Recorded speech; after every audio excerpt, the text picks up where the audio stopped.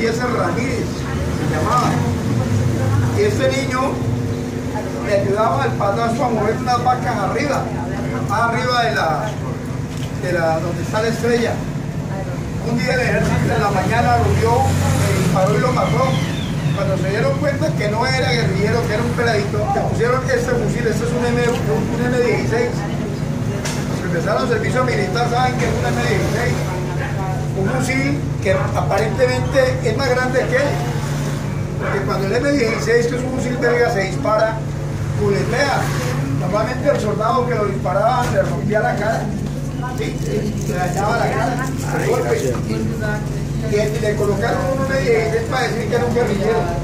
Resulta que cuando el soldado puso el fusil, un periodista nuestro, amigo, Manuel Barrantes, y James Arias, del fotógrafo del diario El Pueblo, llegó primero y lo cortó al niño tirado y no en el hueco, sin el fusil. Cuando llegamos a los otros periódicos, cuando llegamos a tomar la foto, ya tenía fusil. Rías en el escándalo mundial. ¿no? El niño sin fusil y con fusil. ¿Cuál era la verdadera foto? Eso, eso caminó, esa denuncia la conoció la Corte Interamericana de Derechos Humanos y la Corte falló con el mal estado. A la, a la mamá del niño, que era la mamá, se le indemnizó, el gobierno tuvo que pagar por eso.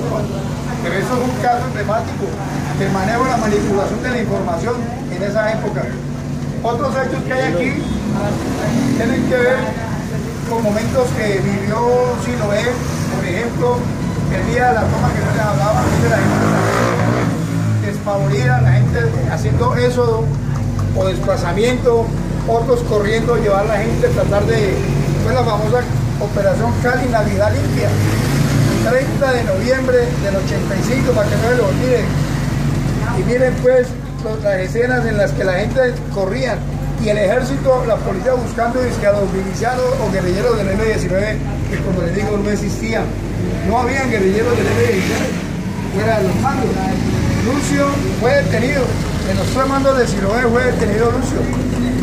Afranio no fue detenido, me tocó a mí declararlo detenido, porque como no aparecía, antes de que me mandara los datos que dije que me hizo llegar, ¿dónde estaba? Yo hice un comunicado a nombre del M-19 diciendo que no para la integridad del comandante Afranio. El ejército tuvo que convocar, digo que para el Jaime Guerrero Paz, el comandante del ejército, rueda de Colombia, que no lo tenemos, que la prensa dice no lo tenemos, los invito, vamos, no lo tenemos. Y ese fue el discurso del ejército, pero no tenía otra opción. Mientras eso, el viejo se movía, lo alcanzaron a herir, porque le tiraron una granada y le alcanzaron a esquilar, y hasta que me dio la referencia que comenté con un médico amigo, subió el vehículo, se lo llevó, lo bajó. Sí, pero ¿qué es lo pasó? Para contar un poco de eso. Esta señora, esta señora y la hija han hecho una obra de teatro. La señora, para la época de la toma, se encontraba dentro de Siloé. Hay una crónica que yo hice del caleño que se llamó Siloé, un barrio de Beirut en Cali. Allá está la... Por ahí está, la vemos. Le inspiró a la hija de ella, que hoy es una niña Allá de está a la, teatro. a la derecha, a la derecha. Sí, este tipo de llamada Juanojo. No, todavía. ¿Todavía llama Juan Ojo? sí, es el pseudónimo del combate. Ahí está. Entonces, con esa crónica, la señora se ve reflejada allí, en esa crónica que escribí, que publiqué, la página que me tocó hacerla sobre Siloé, y con base en eso, hoy, 30 años después, hicieron una obra de teatro, que es este anuncio que aparece aquí.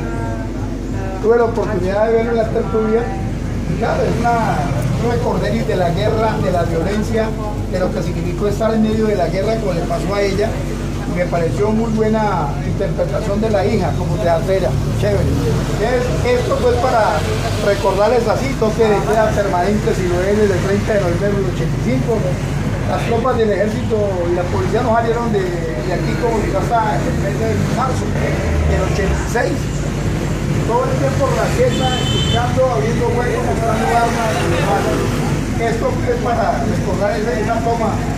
Así lo que trae aquí. Acá Ahí. en el otro lado Ahí está la señora. Claro. Y la dan por muerta. No, allá, allá. arriba. Esta es ella. ¿Dónde están? Ah, Ella- aquí. Ella es María Inmaculada. Claro. Y aquí recibe el tiro, un tiro que le pegó creo que en la cadera, ¿no? Cadera, sí. Producto de esa toma, la señora que estamos hablando, la que está allí, la foto, ella logra sobrevivir de ese atentado que le hicieron. Llegaron disparándole a lo que se movía. Eso fue lo que hicieron. Aquí hay dos escritos, la memoria colectiva es de los pueblos, no de individuos. Correcto. Y acá hay otro título que es más complejo ahorita que estamos de, ya de moda Don Uribe. La guerra es un lugar donde los jóvenes que no se conocen y no se odian se matan entre sí. Por la decisión de viejos que se o- sí, sí se odian, pero que nunca se matan. Claro. que el papel quedó con los viejos y putas. Ah, bueno, perdón la expresión, compañero, que estamos por YouTube y nos sancionan. ¿no? Bueno, aquí seguimos con más. Este es un espacio donde ya Servio nos va a contar un poco de Raquel Mercado eh, y todo el proceso de el- la captura del tipo y después el asesinato. Bueno, José Raquel Mercado, para los no Para los jóvenes, ya. José Raquel Mercado fue un líder sindical, perteneció a la CTC, CTC, y en su momento histórico como líder sindical, pues primero eh, la clase dirigente sindical de la época ubicada entre la CTC y la UPC, que era la Unión de Trabajadores de Colombia y la Corporación, la Confederación de Trabajadores de Colombia, tenían como característica negociar a nombre de los trabajadores colombianos el salario mínimo, como lo hacen ahora. Pero tenían la capacidad de sentarse a manteles con los gobernantes de turno, los empresarios, los industriales, negociar ellos y acordar para ellos prebenda. En un acto de esos teníamos mucha gente metida en el tema sindical, en el tema obrero, dentro del M19, se toma la decisión de traer a José Raquel Mercado y secuestrarlo. Se le secuestra, desafortunadamente se le hace un juicio de responsabilidades, un juicio popular y termina siendo fusilado ahí en cautiverio. Esto costó mucho, muy doloroso por la forma. Estuvo secuestrado, se le indagó, se le preguntó y luego vino la sentencia que había que fusilarlo.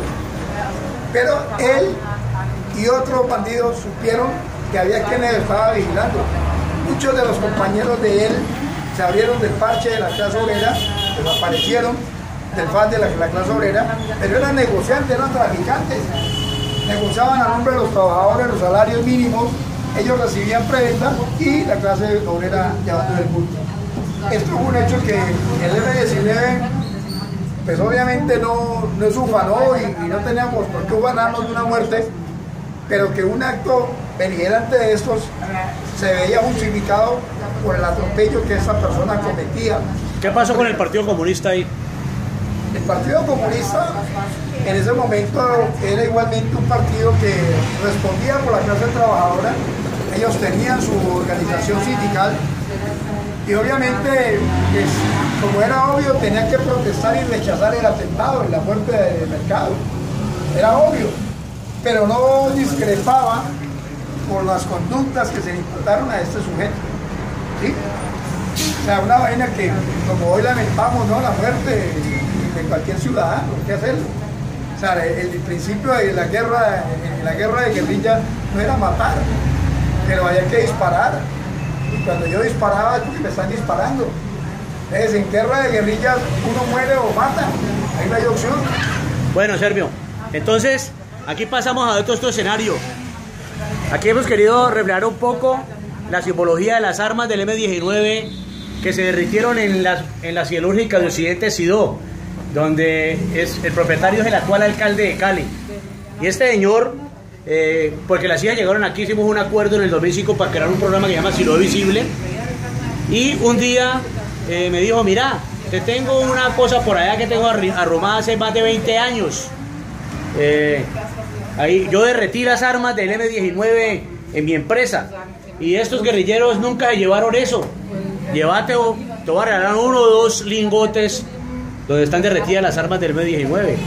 Y entonces, esta es la orden de salida de Sidó.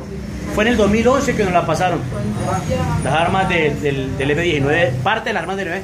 Y la, ustedes las pueden, pueden, eh, pueden pasar para acá y verlas aquí. Aquí están. Aquí les hemos amarrado unas escopetas, les hemos soldado Pero esos son los lingotes de las armas del M19, parte de las armas que vinieron del Caquetá y del Cauca y de todo el país. Fueron derretidas en Sidó, la Silológica de Occidente. El señor actual, el actual alcalde de Cali, que es este señor alcalde que nos está colonizando porque nos puso una bandera de Colombia y la está poniendo antes de ser alcalde. Entonces, dejamos un poco, pero donde estamos, en, no importa que tocamos la bandera, no es irrespeto, es para que sintamos los crímenes de lesa humanidad que se cometieron en la Operación Navidad Limpia. Y hoy estamos haciendo un homenaje a Chabela y a don Alfonso, dos abuelos de más de 75 años que fueron asesinados vilmente por un policía que se salió de control eh, cuando eh, un miliciano, eh, Chaníbal, ¿no, Chaníbal, disparó y mató a un teniente de policía acá en la esquina y automáticamente los policías con fusiles están entrando fusiles Galil de israelitas y se fueron corriendo hacia el morro, que es una fotografía que está allá, todavía se ven las casitas allá.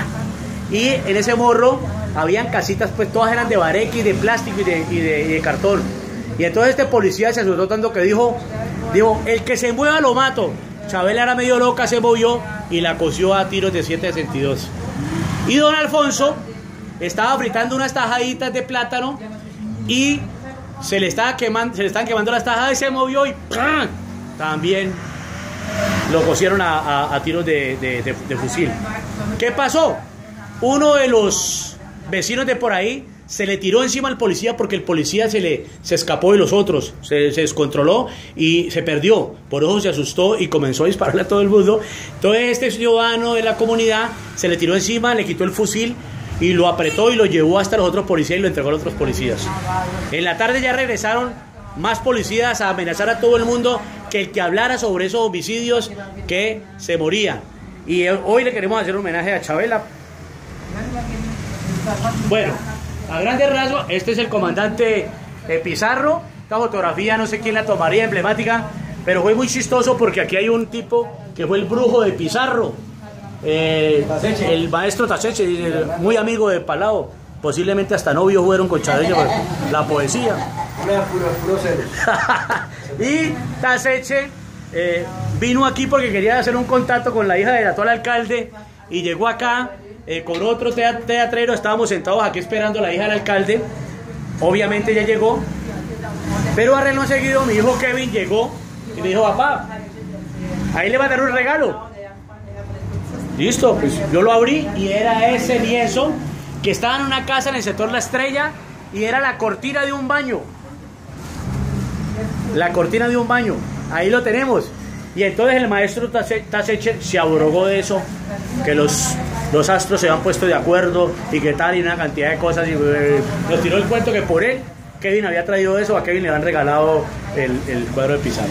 A grandes rasgos, eso es un poquito la memoria histórica del M, hoy que estamos haciendo este recorrido, pero ya vamos a pasar a otro escenario que también hay parte del M19 ya que es lo que tenemos tomar formalmente, y entonces subimos aquí al, segundo piso y ahí vemos otras cosas de Siloé, incluyendo también cosas del M19, acá por este lado acá.